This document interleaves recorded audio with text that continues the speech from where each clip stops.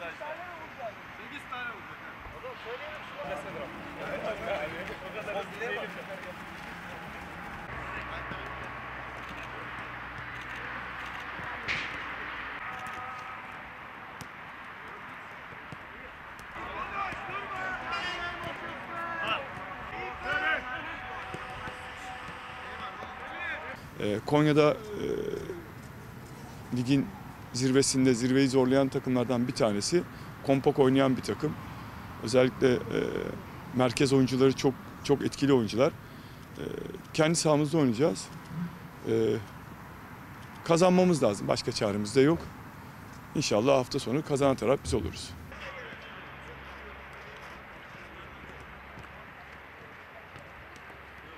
Yani artık maç maç bak ben her zaman söylüyorum yani maç maç bakmak lazım. Kaç tane maç kurtarır bilmiyorum ama e, yani en az en az 5 tane almamız lazım. O bile yetmeyebilir.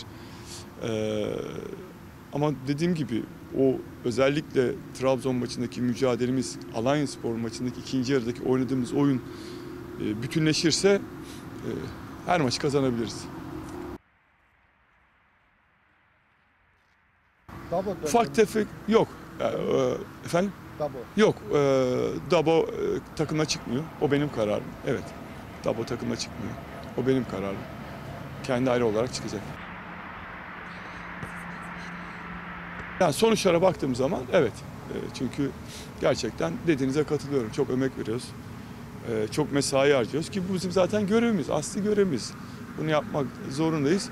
Tabii ki e, ya oyun takım olarak bu son iki maç Alanya'nın ilk 20-25 dakikası, 30 dakikasını saymazsak e, düşündüklerimizi yapmaya başlıyorlar. Ama e, oyuncular bazen bir maçı iyi oynuyor, bir maç istediğimiz gibi oynamıyor.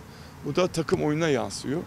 E, bundan sonra tabii ki herkesin form grafiği yükselme takım halinde.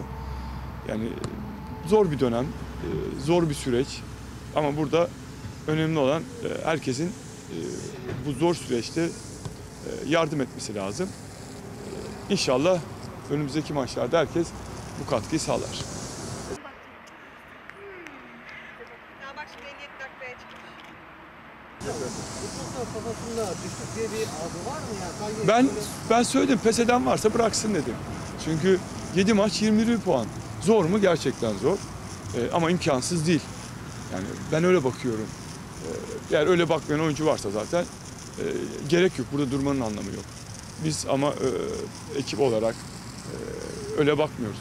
Pes etmeyeceğiz. Yola devam.